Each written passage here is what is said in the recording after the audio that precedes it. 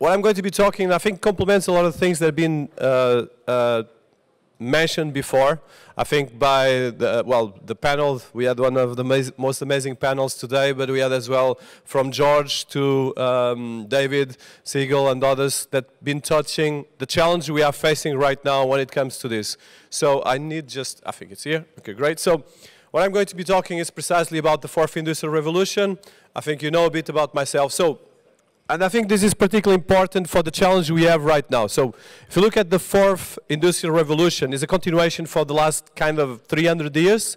And right now, the challenge, and we touched some of these things a lot uh, in the morning, is how do we bridge all the innovation that we have in terms of um, both the technology uh, disruption that we face right now into the areas of uh, the changes in society the changes in money. For instance, Thomas Power this morning mentioned a very important thing that is one of the reasons I started this book is when you look at the world data at the moment, we have at least five corporations worldwide controlling most of our data and most of our operations as we speak.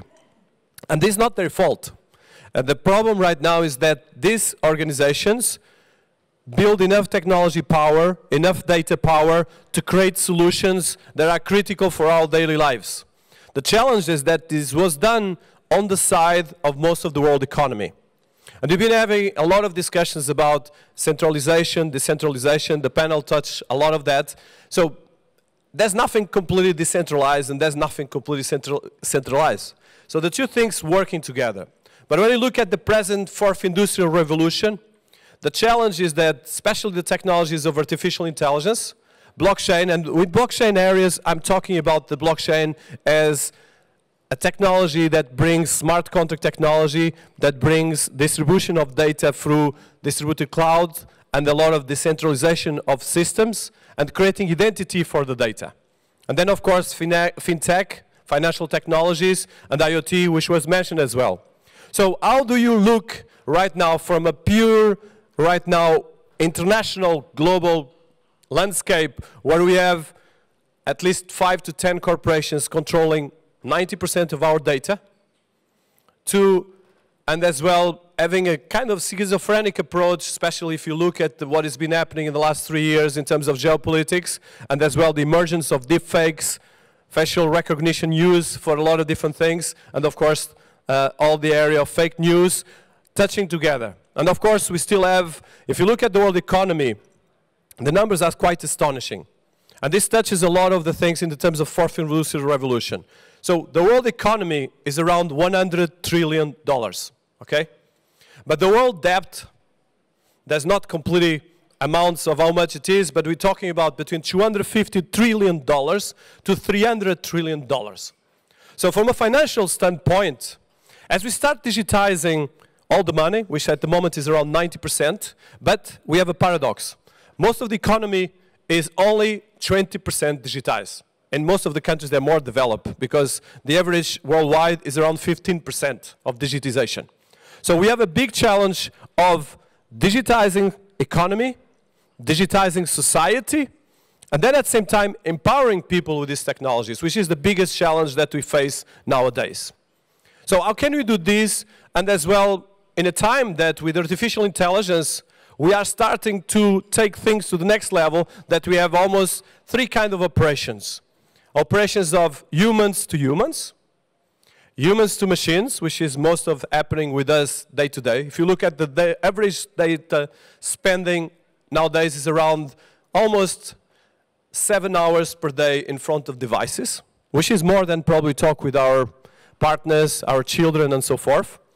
And we are just in the beginning. So humans to humans, humans to machines, and machines to machines, which is the increasing new era, especially when we talk about data processment, Internet of Things, and a lot of other things.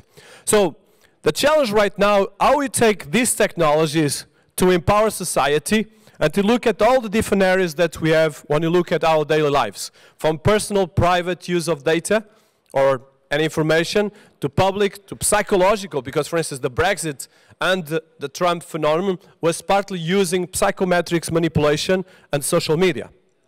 So can we use blockchain technology to create identity for data, to create protection for the data, even with all the challenge that George Sebastião mentioned in terms of cybersecurity, and as well, especially when you start putting the healthcare systems digital, the challenge that come out of that are the biggest shift in the history of mankind.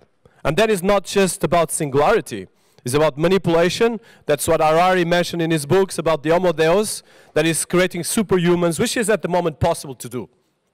And of course, this has a lot of effects in terms of wellness, in terms of governmental, especially areas, and military. Because if you look at military powers, at the moment we have the biggest challenge when it comes to how do you take these technologies that partly are, if you, look at the FBI data, is actually partly hosted, not partly, most of it hosted in the Amazon service. And then you have the geopolitical powers and all these things. Can you do an artificial intelligence that is in silos and put it in different boxes? Or can we actually create these in a way that there's a global regulatory part for this and we can actually create identity for the data that we control as citizens? That's the biggest challenge that we have. And of course, I'm not even talking about the billions of devices and sensors that we have at the moment around the world managing all our data. So I think the challenge right now, as we stay in this bridge between uh, the present stage of the fourth industrial revolution that we move to the next level, is how are we going to be doing this? Are you going to be this, digitizing the entire money in the world and creating a meta currency like a Libra or something like that? For instance, if Libra became officially a coin and it can be used, you'll become the biggest central bank in the planet immediately. Because Facebook owns data of 2.2 billion people, which makes it the biggest organization in the planet. So that means the power of Facebook if the cryptocurrency at the moment, there's a lot of discussion, goes successful, will probably become bigger than the US dollar or any other currencies in the planet. That's why the regulators are panicking, and I actually I agree that is not a simple task. And as well, who is going to bail Facebook if the experiment goes down? Or if Facebook has a problem of governance, which in the end of the day, Facebook board has 60% of the rights controlled by Mark Zuckerberg, one single person. So we have a lot of challenge here. It's not his fault, but we have a lot of challenge from a regulatory perspective, financial perspective, and technology perspective. But the challenge is that we move right now to quantum computing and to the, all the areas of acceleration of digitalization of society and data. And this is the biggest shift that we have right now, especially as we start touching the exponential growth and singularity parts. How are we going to manage this? And I think my thesis is that we need to work in a solution that comprehends an, a balance between different technology tools that can solve solutions and bring identity of data to us as citizens, and at the same time empowers, not making us subjuged by these technologies. And this is where it becomes, if we can use all this digitalization, for instance, David Siegel talked about the e-money systems. If we manage to create a global e-money system operation, then we're going to be able to transform and regulate a lot of this use, partly by technology, because the next five years are going machines by machines is the biggest shift that we have. But right now, how we take this? And I'm finishing my presentation. I think probably to finish is are we going to make sure that this doesn't become the biggest tsunami in mankind? And it's something that we can actually serve and not be submerged because that's the biggest challenge, challenge that we have as technologists, entrepreneurs, citizens, and uh, people in different areas of academy, of, of government, and so forth. So thank you so much, and uh, more information is in the book and the and, and uh, websites that we have online. Thank you.